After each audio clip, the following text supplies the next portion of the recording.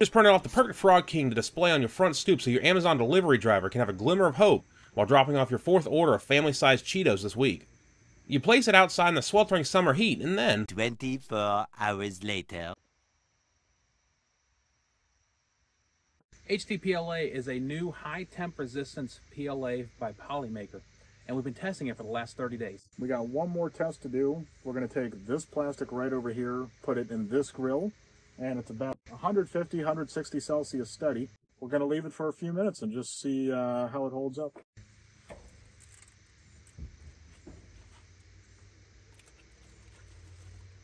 All right. Down Set it timer. Got timer set. 10 minutes. All right. And now we wait. Now we wait. All right. So this is the test that we've been doing going all the way across. Starting off with this, this is our control. We have PLA, HTPLA, HTPLA GF, PETG, ABS, and PA, I believe is nylon. PA6 nylon. PA6 nylon. So this is the control. You can see not too much going on here. If we head over to the next one, we are looking at The outdoors sample. It's sat on my deck for the 30 days of the test. Uh, indirect, in, basically indirect sunlight. Not much shade happens on my deck. So in comparison, we can see that the PET G seemed to have lost a little bit of color. So did the PLA. But everything else seems to be pretty all right. Everything else seems pretty solid, and the PLA did melt and warp just a tiny bit, but everything else held in pretty strong otherwise. Something I also need to note before we continue the warping that you see on the plate right here that's actually holding the strips in. The the plate was made with HTPLA GF, the gar- the glass fiber. Um, the warping is because I took it off the plate too quickly when it was still hot. So Yep. So if we move these aside, take a look at these two. We're going to focus on this one for right now.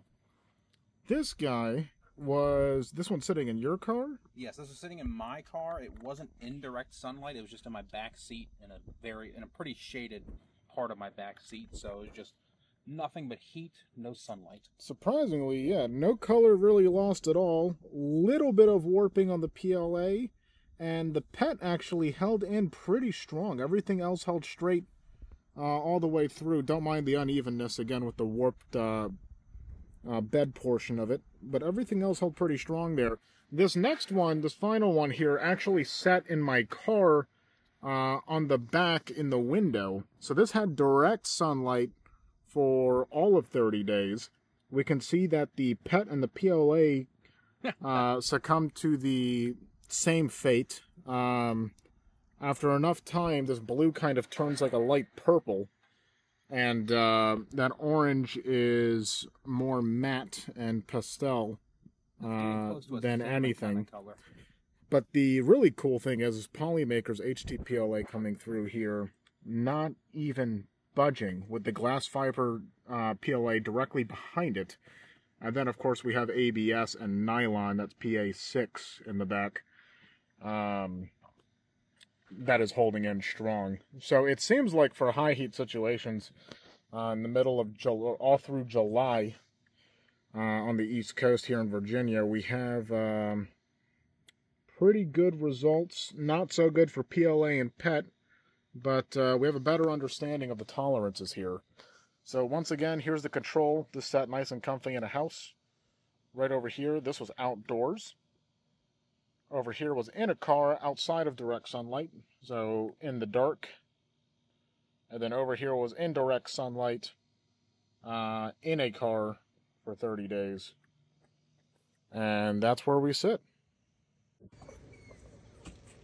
We're back. I forgot something to hold it with, so it's been about 12 minutes, you said? 12 minutes. We're at 12 minutes. Right, right. Yes. All right. Looking steamy. Something I forgot to point out before I grabbed the camera. We're not scientists. We're just two dudes who do this for fun. Um, There's no science backing this. there's absolutely no science, so please, we're not professionals. No science. So please don't uh, grill us in the comments if we're doing something wrong because we probably are. Look at us. We discovered annealing. Um, yeah, these statues did not get melt. Well, I mean, these I expected not to melt much, but like he didn't melt much. But the strips, don't mind the grill grease. I, for some reason, I expected ABS to start warping, but nothing. Nothing at all. I said we kick it up a notch. Take it up a notch. Let's see where it stabilizes with two burners on. So let's go ahead and turn that up and see where it goes. All right. The temperature is stabilizing around 210. Uh, so we are going to put it back in there and see how bad it melts.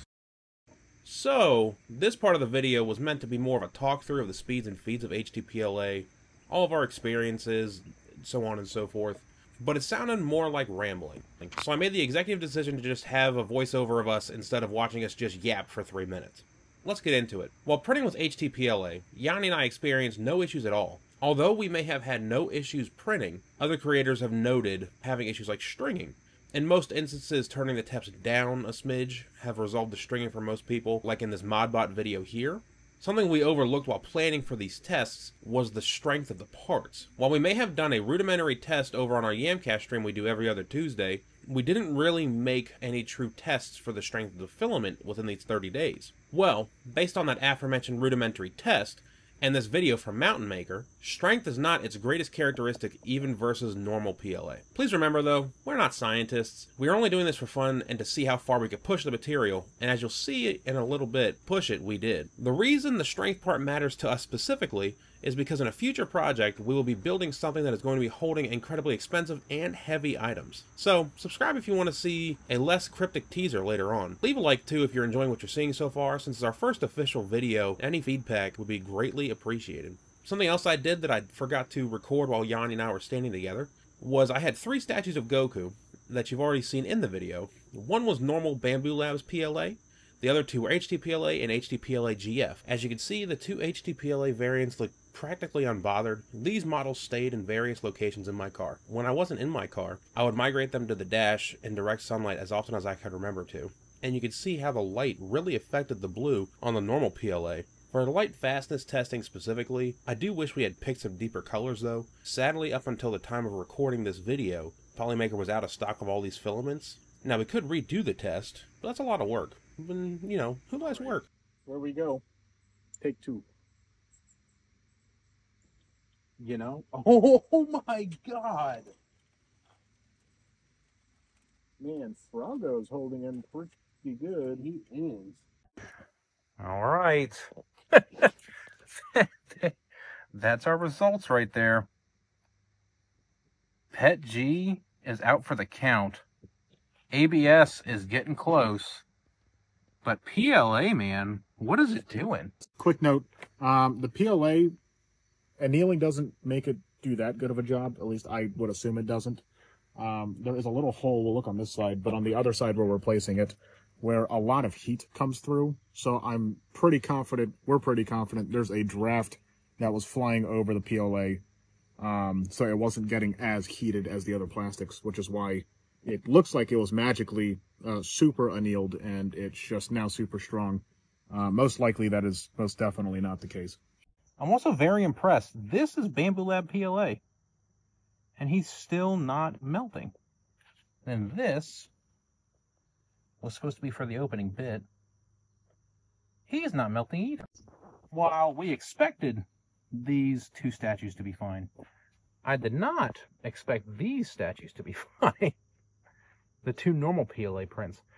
So I think what I want to do is crank up the grill as high as possible. Well, maybe not as high as possible, but high enough to where we can definitely melt some PLA and see where we can go. A few moments later. Oops. What are you doing? Don't worry about it. Oh. How much should I worry about that? I've got no idea. What time is it? Or how much time? We're only halfway through. 320 is about where it's averaged. It's a good thing we're getting rid of this grill. Because that's one thing I didn't explain. We're getting rid of the grill. This is the last thing the grill will ever cook. What a sad way to die. Oh. Oh yeah, that's smoking. Oh. Although there's Oh, one thing oh, hanging in there. Oh my god. Little face. Goku is so sad. Where's Goku. Goku. Goku. Approach. Frog, bro. Is that just PLA? That is just PLA. That's disgusting. God, dude. There's no way. Oh, okay. Oh, he's you're moving folding a him little open. Bit. Oh. In nylon is perfectly fine.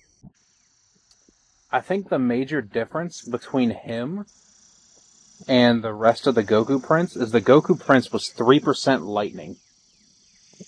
He is like 14% grid. I think he's a keeper.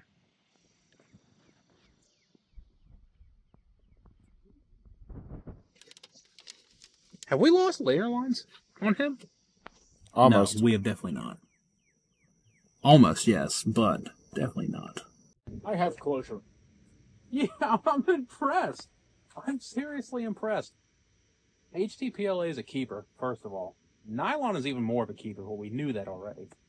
And uh, 14% infill frog is the keeper of us all. The in the undefeatable frog. Well, with uh, the sun fading on us, let's uh, go ahead and give our uh, sad last thoughts. This this is still the PLA is still hot. Sad Goku. Hold on, let me let me come around. You actually have to see this. This is page PLA GF and PLA just normal HTPLA HTPLA GF. Um, they both subsided in the uh, battle for I forgot this was on my grill uh, for the battle for uh, 320C. Uh, nylon, however, Didn't did not budge. budge. If anything had lifted. Nylon is the clear winner. Not everything? not even touched. at over 300C.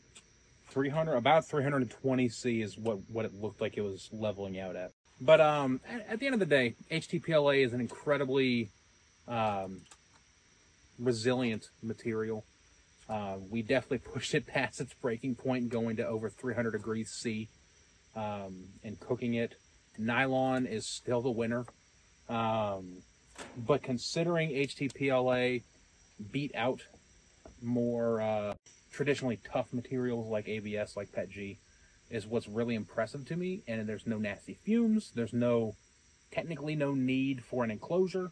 So, if you liked what you saw, please consider giving us a like. Um, comment down below what test you might want to see next. Tell us what we did wrong. Tell us what we can do right in the future. Um, and subscribe for more. Do you want to come up with an outro on the fly?